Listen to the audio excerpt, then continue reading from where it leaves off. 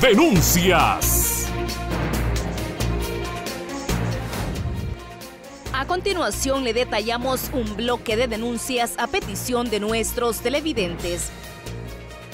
Urgente se le hace el llamado a las autoridades del Servicio Nacional de Acueductos y Alcantarillado Sana, ya que los conductores de vehículo y sobre todo de motocicletas corren un peligro enorme hasta de perder la vida, ya que una alcantarilla se encuentra sin su respectiva tapadera en la calle principal del Boulevard El Kuwait que conduce hacia la calle de la Salud, exactamente por el Instituto Nacional de Migración. Peligroso en la noche, viene alguien un poco eh, a velocidad un poco fuerte, no, no, no, no lo capea el hueco, no, no se lo quita. El llamado es que de repente vengan y, y tapen ese hueco, pongan una tapadera, porque ya eso ya es un riesgo.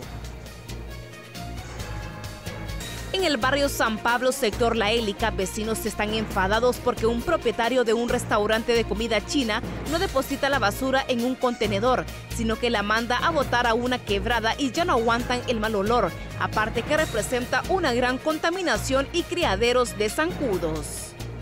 Toda la gente que viene de abajo, de reparto arriba, de todas las colonias de allá, traen los bultos de, de basura y también allá tenemos problemas porque de un, de un chino que está en la esquina, él manda a votar, él manda a, manda a votar a, pues busca personas, busca personas que le vengan a, a votar así como en carreta y solo la vienen a tirar ahí, cosas de mariscos, eso apesta, lleve porque tu denuncia es importante y por ende se convierte en noticia. Cualquier molestia en tu barrio o colonia, comunícate con nosotros al 9430-7274 para HCH Noticias con las imágenes de Alejandro Irías. La edición de Danilo Rosado les informó Jocelyn Flores.